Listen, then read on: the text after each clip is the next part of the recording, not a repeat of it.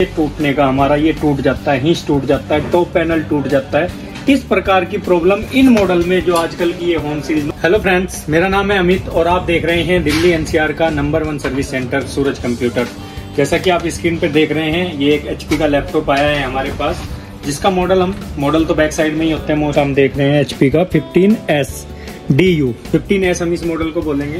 15s से भी clear हो जाता है कि क्या मॉडल है, इसमें क्या लगा होगा। तो 15s ये इसका मॉडल है। प्रॉब्लम की हम इससे बात करते हैं कि इसमें प्रॉब्लम क्या आ रही है। उससे पहले हम आपको बताना चाहते हैं कि 15s जो ये सीरीज़ आ रही है, ये नोटबुक सीरीज़ एचपी की 15s है 15bs है 15d है तो 15CQ है, इस टाइप की ये जो प्रॉब्लम ये मशीन आ रही है इसकी। ये सीरीज़ आजकल यही आ रही है, जो दो ढाई साल पहले से स्टार्ट हुई है। इनमें मोस्टली प्रॉब्लम जो है, ये हमारी, ये स्क्रीन के, ये टूटने का, हमारा ये टूट जाता है, हिंच टूट जाता है टॉप पैनल टूट जाता है। इस प्रकार की प्रॉब्लम इन मॉडल में जो आजकल की ये होम सीरीज़ नोटबुक सीरीज़ आ रही है एचपी की डेल की लेनो किसी की भी हो, हम एक बात की नहीं कहेंगे कि एचपी की है। इन चीज़ में ये जो आ रहा है मैन्युफैक्चरिंग डिफ़ॉल्ट है सभी में, क्योंकि ये क्या हो गया स्लिम कर दिया है, पतला हो गया है, जिस वजह से ये हमारी बॉडी टूट जाती है।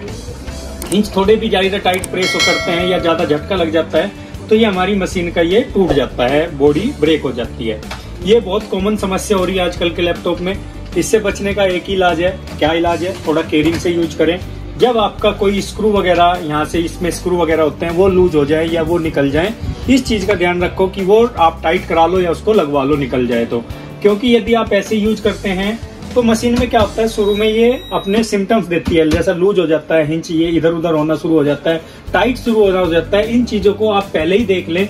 इन सिम्टम्स को कि भाई अब आपकी बॉडी क्रैक हो सकती है आप इसको ठीक करा ले टाइम पे तो ज़्यादा दिक्कत नहीं होगी। जो कंडीशन अब आप, आप इसकी देखोगे बिल्कुल वर्स्ट कंडीशन हो रखी है। पूरा टूटा हुआ है। टेप वगैरह से इसको चिपकाया गया है। बिल्कुल खत्म हो रखा है ये टॉप पैनल इनका। तो इस प्रकार की समस्या से बचने के लिए वही है कि आप पहले ही ध्यान दें इन चीज़ों पे और इसको आप शुरू में ही ठीक करा ले तो ज़्यादा बेटर है।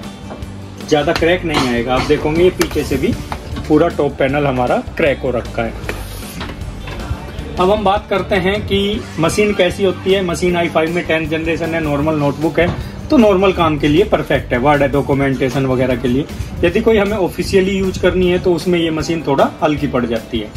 तो ये नॉर्मल नोटबुक के लिए आप इसको यूज़ कर सकते हैं। वर्ड डॉक्यूमेंटेशन के लिए थोड़ा बहुत काम होता है घर में, उस टाइप में ये मशीन बिल्कुल परफेक्ट चलेगी। तो प्रॉब्लम हमने आपको बताई दी है।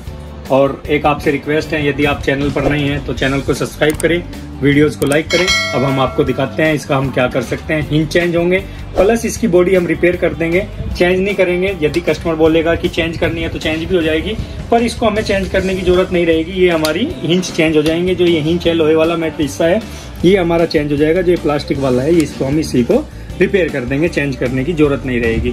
चेंज उस कंडीशन में करते हैं कि भाई देखने में थोड़ा बुरा लगेगा क्योंकि भाई थोड़ा ऊपर नीचे हो जाएगा, टूटा हुआ है। यहाँ से जब हम इसको मेल्ट करके प्लास्टिक को लगाएँगे तो थोड़ा निशान आ जाएँगे। उस कंडीशन में यदि आपको नहीं चाहिए तो फिर आपको ये चेंज ही करना पड़ता है। अन्यथा ये रिपेयर हो जाता है। तो फिर हम आपको दिखाते हैं कि हम इसको कैसे चेंज करते हैं और इसको कैसे ठीक आप देखोगे, अब हमने पूरा लैपटॉप खोल लिया है। और इसके लिए हमें क्या होगा, पूरी अपनी स्क्रीन अलग करनी पड़ेगी। सबसे पहले हम क्या करेंगे, बैटरी को डिसेबल करेंगे। बैटरी हटाएँगे। हमारी आपसे रिक्वेस्ट है कि अगर आप हमारे चैनल पर नए हैं तो चैनल को सब्सक्राइब करें और वीडियो को लाइक करें, क्योंकि इस तरह के कंटेंट हम आपके लिए बनाते रहते हैं। और अगर आपके लैपटॉप में भी इस तरह का कोई प्रॉब्लम आ रहा है तो आप हमें कमेंट करें, हम आपको पूरा सपोर्ट करेंगे। हम आपको एक सलाह और देना चाहते हैं कि लैपटॉप बहुत ही महँगे आते हैं और आप इसको किसी ऐसे वैसे लोकल सर्विस सेंटर पर मत दिखाओ, क्योंकि ये आपके लैपटॉप को और ज़्यादा ख़राब कर सकते हैं।